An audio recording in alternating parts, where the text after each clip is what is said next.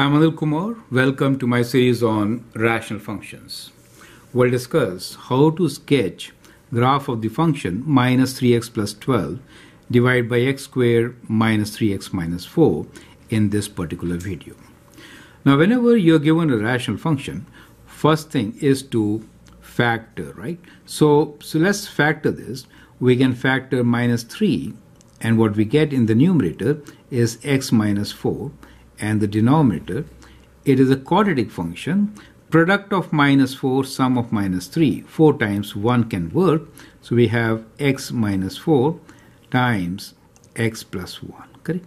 So we have factored it. So that is your first step. So first step will be factor. Now once you factor it is very easy to see where are the vertical asymptotes and uh, what are the other restrictions. So immediately from here we can write down the restrictions.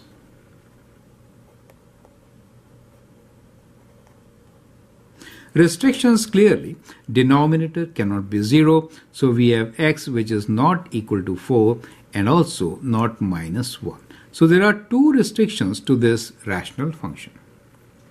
Now what do these restrictions lead to? Well, you can see that x minus 4 is a common factor and it cancels.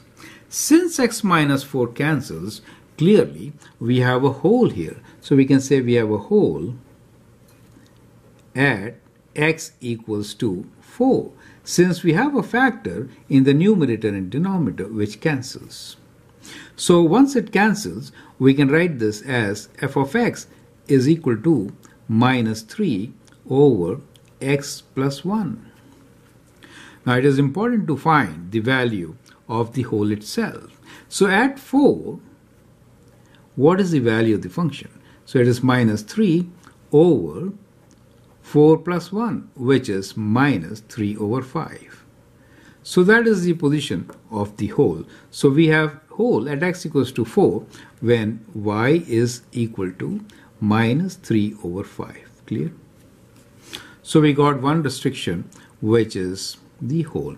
Here it is a good practice to always write that x is not equal to 4 or minus 1, correct? Okay. Now the other restriction was x equals to minus 1 leads to a vertical asymptote. So we get vertical asymptote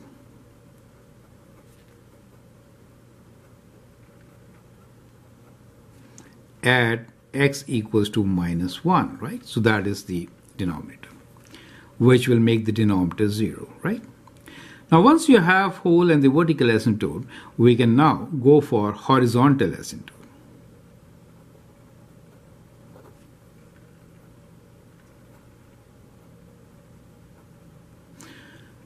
Since we have minus 3 over x plus 1, denominator of denominator is very high, when x is very high, it leads to 0. So horizontal asymptote is y equals to 0. Correct?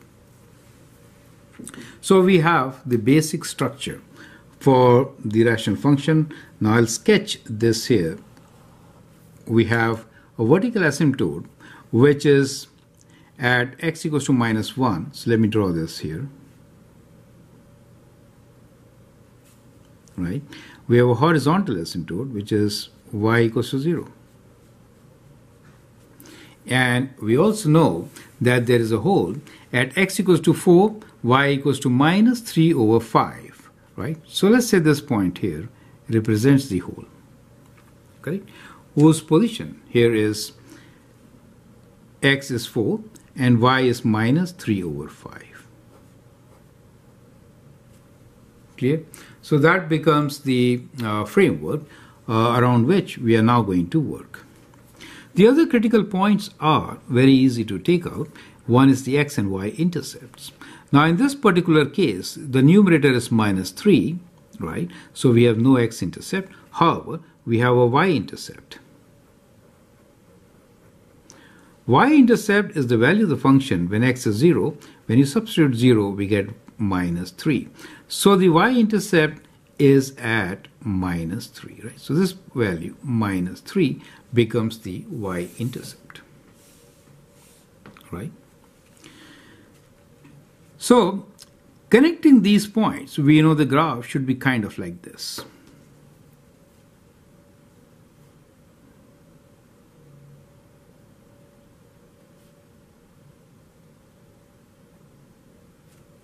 Now on this side, we are not very sure how will it look like. Well, we know this is your vertical asymptote at x equals to minus 1. So we can take a value at x equals to minus 2 and see what is going to be the value of the function. So let's calculate the value of the function at minus 2.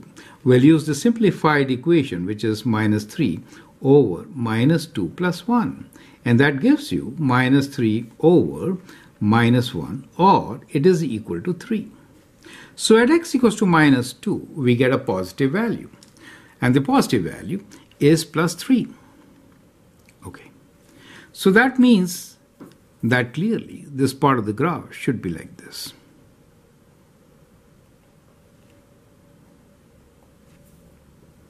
Well, this point here is minus 2 plus 3. Is that clear? Right? So that is how we actually get the sketch of our function. And now we can actually describe the characteristics. Let's begin with the end behavior, which says when x approaches negative infinity, we know y approaches 0. But does it approach from top or from bottom? Well, we can substitute a large negative value in this. So when I substitute a large negative value, I get a positive value. So it means from above, right? And when x approaches positive infinity, y approaches 0. When I substitute a positive large value, I get a negative value. So it is from below. Do you see that? So clear. Now, behavior near the vertical asymptote. When x approaches vertical asymptote is at x equals to minus 1. So when x approaches minus 1, from the right side, we write like plus. In that case, y approaches what? So I can actually write a value minus 0.9, for example, in the given expression. And what we get here, when we write minus 0.9, numerator is negative, but denominator is positive. So we get a negative infinity. And when x approaches minus 1 from the left side, we see that the y value approaches positive infinity. So that is the behavior near the vertical asymptote, right? So I hope that is absolutely clear. Now once we have defined all these behaviors, then we have more or less described all the characteristics. We can now say that the function f of x is actually greater than 0 in the interval from minus infinity to minus 1. And f of x is less than 0 or it is negative in the interval from so this is there is a split here do you see that? So this point is not in the domain. So when you're describing this you have to say from minus 1 to 4 union from 4 to infinity. Do you see that? That's kind of important.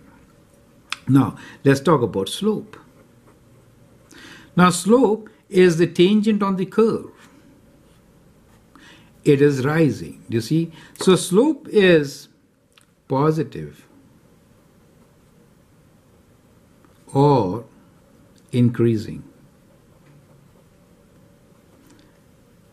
For x belongs to real numbers where x is not equal to minus 1 and 4. You could write like this also. Now slope could be also what about the rate of change of slope, right? So rate of slope. Now let's talk about rate of slope. Now this portion is concave up, so it is positive. So it is positive or increasing, positive or increasing. Increasing is better word, not right positive. Increasing in the interval from minus infinity to minus 1. This is concave down, right? So it is decreasing from minus 1 to 4, right? And then from 4 to infinity, since it is concave down. So using the property of concave up and concave down, you can easily comment on the rate of change of slope. Is that clear to you, right? You can also say the graph of the function is concave up in this position from minus infinity to minus 1. Let me write down concave up. And in this portion, it is concave down. That explains the rate of change of slope. So whenever it is concave down, the rate of change of slope is decreasing, right? And when it is concave up, the rate of change of slope is increasing. So I hope with this you understand how to completely describe a rational function and sketch its graph. Hope it makes sense. Feel free to write your comment, share your views, and if you like and subscribe to my videos, that'd be great. Thanks for your time and all the best.